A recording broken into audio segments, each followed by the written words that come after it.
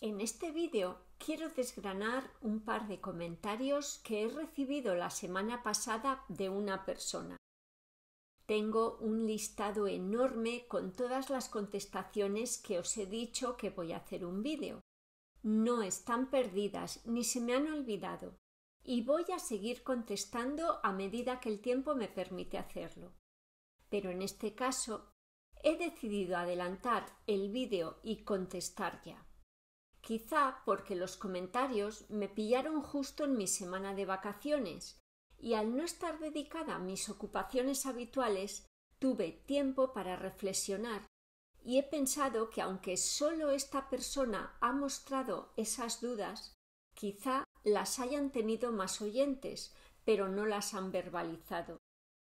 No es mi deseo con los vídeos que hago llevar a nadie a error, y para aclarar esos datos que han generado confusión hago este vídeo.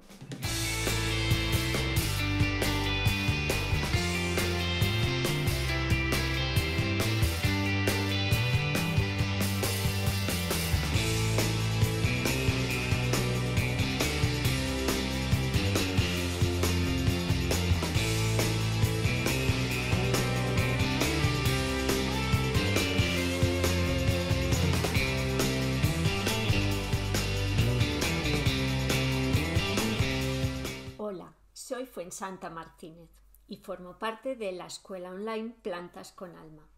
En la descripción de este vídeo tienes la web con los cursos, libros y prácticas de yoga que tenemos en la escuela.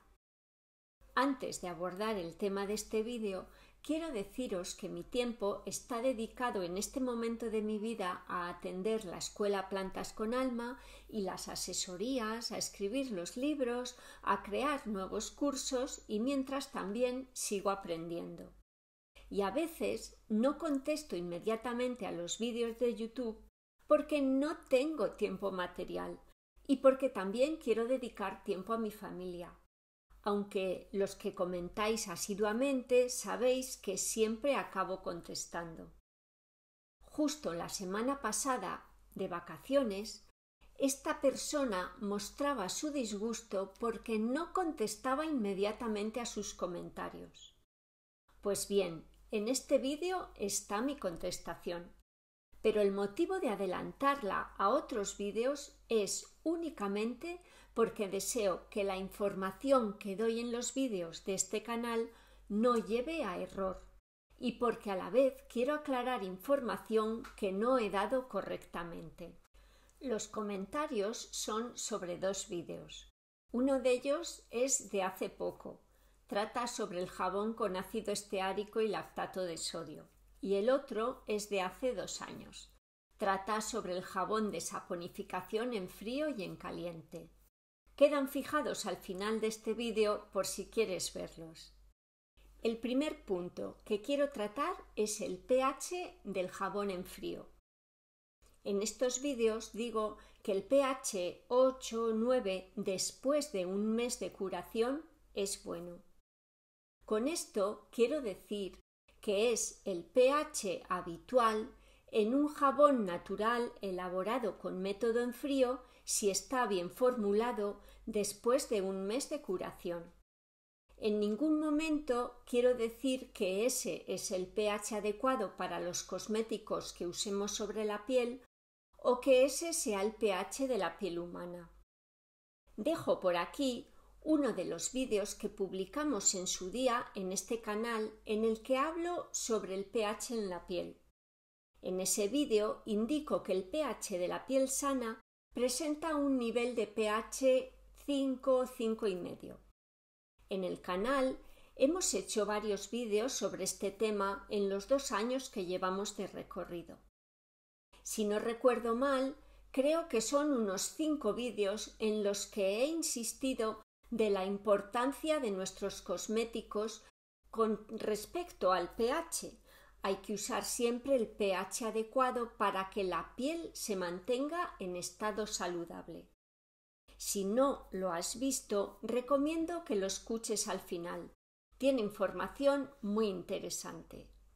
Una cosa es el pH habitual del jabón natural elaborado con método en frío y otra el pH de la piel y el de los cosméticos que debemos usar. Hoy mismo he comprobado el pH de ese jabón que os mostré hace dos meses y ahora mismo está en un 7,8 de pH. Debemos tener en cuenta que el jabón se usa para la higiene corporal. Se aplica, se aclara y realiza su función de desinfección. No queda sobre la piel y no daña la piel. Pruebas mi propia experiencia de años. Desde que uso jabón natural no me tira ni se irrita la piel, no me broto ni me salen sarpullidos. Y no solo yo, mi entorno está más sano en temas de piel. Mis hijas, mi pareja, mis tías, mis amigos. Y estoy hablando de personas con pieles sensibles. Mi experiencia es esa y hablo de lo que veo y vivo. Esta es mi realidad. Cada uno hablamos de lo que vivimos. El tercer punto que quiero aclarar es sobre la glicerina que contiene el jabón natural. La elaboración del jabón natural, tanto en el método en frío como en el caliente, básicamente es la misma en los primeros pasos. Es decir, la mezcla de la lejía con las grasas se hace igual y es en ese momento de la saponificación en el que una pequeña parte se transforma en glicerina. Por lo tanto, un jabón hecho con cualquiera de los dos métodos tendrá la misma glicerina. Una vez que el jabón ya ha saponificado es cuando el tratamiento en los dos métodos cambia. En el método en frío se añaden el sobreengrasado y el resto de ingredientes que queramos que tenga nuestro jabón. Y en el método en caliente se cuece hasta bajar el pH y una vez conseguido se añaden el resto de ingredientes y el sobreengrasado. De todo esto hablo en uno de los vídeos que te recomendamos al final. El segundo punto que deseo aclarar es que cuando hablo de piel en general me refiero a piel en estado sano. Si hablamos de pieles con dermatitis, rosáceas, alergias varias, incluso la delicada piel infantil, el tratamiento de la higiene tiene que ser diferente. Nunca he dicho que el jabón saponificado sea para estos tipos de piel. Para ellos, la mejor higiene vendrá de otros productos en los que el pH se puede controlar fácilmente. En estos casos, y siempre dependiendo de cada situación, los geles formulados con una solución activa lavante determinada y con unos tensioactivos suaves serán los más adecuados. Incluso en algunos casos, como una dermatitis atópica, por ejemplo, lo mejor es usar para la higiene solo avena coloidal, sin ningún tensioactivo, hasta que la piel mejore.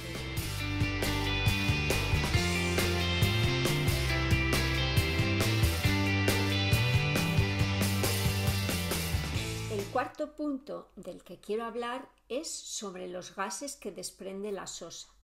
Reconozco al escuchar de nuevo el tutorial fui consciente de mi error al expresarlo y me parece importante daros la información correcta. La sosa en contacto con agua genera una reacción exotérmica, es decir, una reacción química que desprende energía. En este caso se traduce en una elevación grande de la temperatura de la lejía. El vapor que desprende esta reacción no es un gas, aunque las elevadas temperaturas que alcanza la mezcla es muy corrosiva. A eso son debidas las quemaduras producidas por la sosa. Lo que sí es un gas es la reacción de la sosa con metales, como el aluminio. En este caso reaccionan en gas hidrógeno. Para no desviarme del tema, Dejo un enlace en la descripción sobre el efecto del hidrógeno en el entorno, que me ha parecido muy interesante, por si queréis saber un poco más sobre este tema. En lo que sí sigo insistiendo es en que la sosa es muy soluble en agua y absorbe fácilmente la humedad y el dióxido de carbono del aire. Y por eso es aconsejable guardar los envases de sosa lo más sellados posible. Y por último, en el vídeo sobre los dos métodos de elaboración de jabón en caliente o en frío que dejamos al final para que podáis verlo, expongo las características de cada uno de ellos. Después, cada persona, según su gusto y experiencia, elige cuál prefiere usar. Hay tantos gustos como personas en el mundo. Para mí lo importante es poder elegir según nuestra propia vivencia, porque cada persona vivimos una realidad. Lo que me va bien a mí es bueno para mí y lo que te va bien a ti es bueno para ti. Yo con este canal he decidido contar mi experiencia sobre estos temas por si es de ayuda para otras personas. Pero no quiero convencer a nadie y menos llevar a equívocos. Sobre la información que encontréis en mis vídeos o en otros o en la vida en general, Siempre, siempre pensad que es información.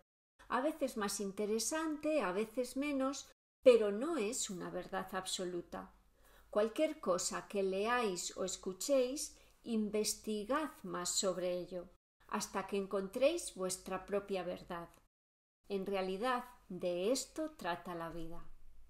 Mi opinión, como defiendo la sencillez en mi entorno, es que es importante elaborar los cosméticos con la menor transformación posible de sus ingredientes para beneficiarnos de la mayor parte de sus propiedades. Es mi manera de agradecer a la naturaleza todo lo que nos ofrece para cuidarnos y vivir mejor. Pero es solo mi opinión, es decir, un mini granito de nada en la inmensidad del universo. Y esto es todo lo que quería decir en este vídeo.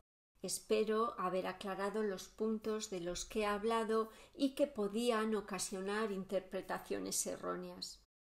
Como siempre digo, no olvides dar like si te ha gustado el vídeo, de suscribirte si te gustan estos temas y todavía no lo has hecho, de compartir el vídeo si conoces a alguien a quien le puede interesar Escríbenos en comentarios lo que necesites de estos temas y dejamos en la descripción todo lo que hacemos y puedes hacer con nosotras.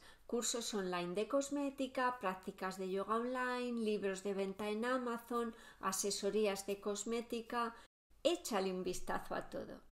Y como siempre digo, gracias por haber estado conmigo en este vídeo y nos vemos en el siguiente.